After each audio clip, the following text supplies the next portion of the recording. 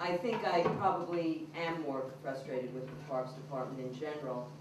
It appears that the current administration views the city council's input similar to the way the uh, president views the Congress's input.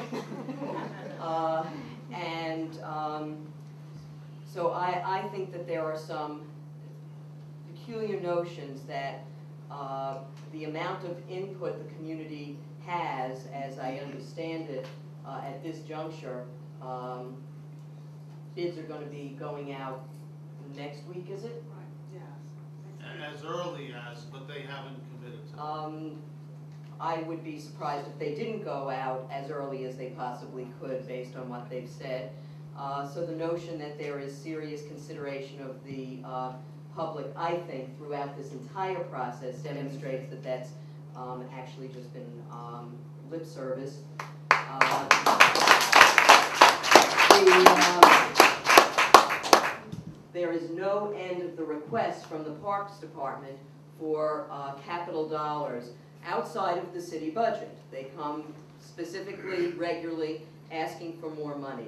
My uh, most uh, recent, which is not terribly recent, but I guess was in the fall, uh, communication with them was, uh, since you seem to have more than enough money to do things that the community doesn't want, I don't really understand why you need more money to do other things elsewhere there's existing.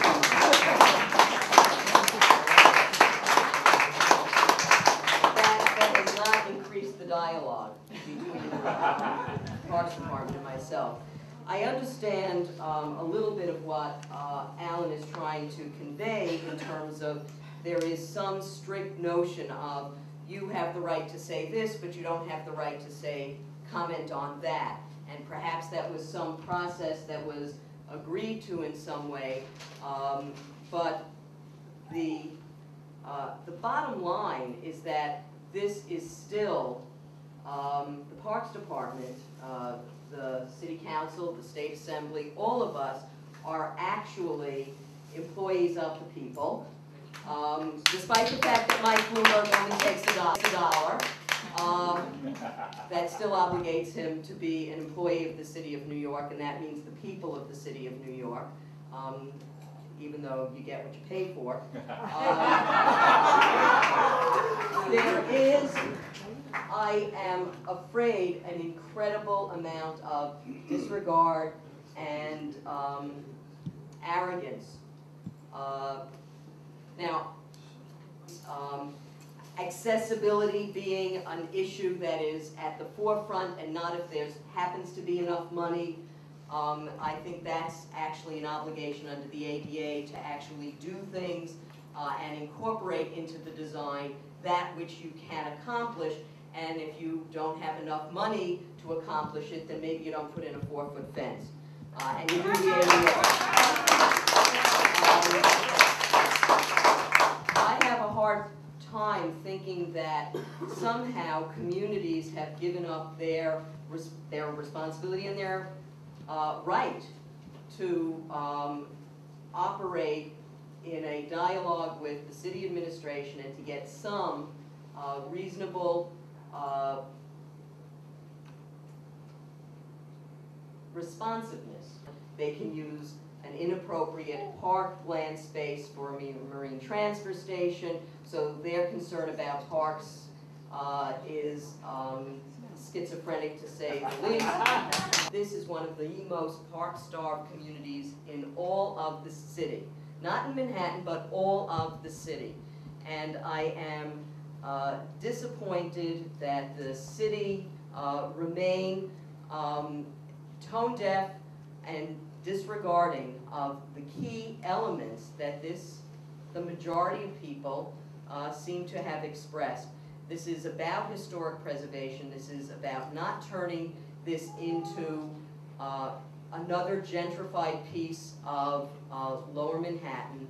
Uh, And I would hope that the city council would use its power of the purse uh, because I do think that if the city has to raise all of the money privately, that that is a stronger argument and unmasks what I think is in fact part of the agenda. Um, That um, there could be a, a broader discussion, and that perhaps the city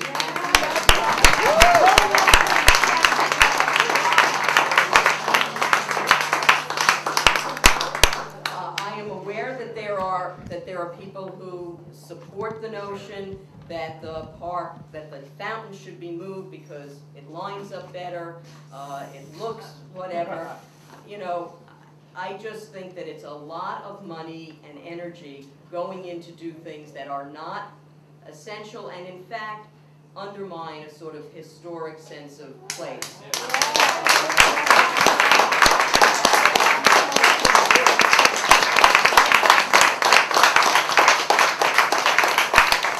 And, and I don't know how that's not a design element.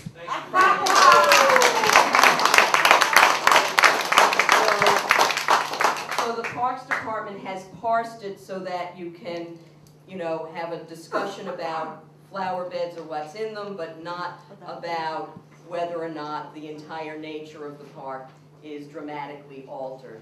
And I find that disappointing, Yes. uh, unacceptable, and, uh, I would hope uh, that you would find a way to make, to, to come together in some fashion to make that clear just to both the community board, which I guess is your charge, but also the broader community, and also to, um, an increasingly detached and unconcerned, uh, city administration. Uh, the, the entire nature of our neighborhood and the people who created what is arguably one of the most wonderful and unique places in the whole Well, country, if not the world. But I am very frustrated and very upset about um, this jewel that is about to be uh, turned into an artificial flower.